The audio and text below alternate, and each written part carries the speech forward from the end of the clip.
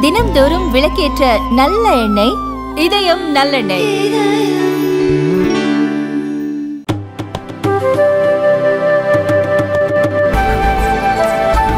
ராஜஸ்தான் மாநிலம் பில்வாரா பகுதியைச் சேர்ந்த பதினான்கு வயது சிறுமி தன் தாயாருடன் நேற்று தோட்டத்தில் ஆடு மேய்க்கச் சென்றார். அப்பொழுது தாயை விட்டு தனியாக சென்ற சிறுமி அதன் பின் காணாமல் போய்விட்டதாக சொல்லப்படுகிறது. சிறுமியின் உறவினர்கள் இரவு முழுவதும் தேடி கடைசியில் போலீசிலும் புகார் கொடுத்தனர். இந்த நிலையில் இன்று அதிகாலையில் அங்குள்ள செங்கல் சூளையில் வெள்ளி கொலுசு சிறுமியின் காலணி மனித எலும்புகள் உள்ளிட்டவை கண்டுபிடிக்கப்பட்டன. உடனே இது குறித்து போலீசாருக்கு தகவல் தெரிவிக்கப்பட்டது. இதையடுத்து போலீசார் செங்கல் சூளை அருகில் இருந்த மூன்று பேரை கைது செய்து விசாரித்து வருகின்றனர். காணாமல் போன அந்த சிறுமியை கூட்டு பாலியல் வன்கொடுமை செய்து பிறகு செங்கல் சூளையில் வைத்து எரிக்கப்பட்டிருக்கலாம் என போலீசார் தெரிவித்தனர். இதனால் குற்றவாளிகளை உடனே கைது செய்ய வேண்டுமென நூற்றுக்கணக்கான கிராம மக்கள் போராட்டத்தில் இறங்கியுள்ளனர். இந்த போராட்டத்தில் பாஜக தலைவர்கள் மற்றும் முன்னாள் அமைச்சர்களும் சேர்ந்துள்ளனர்.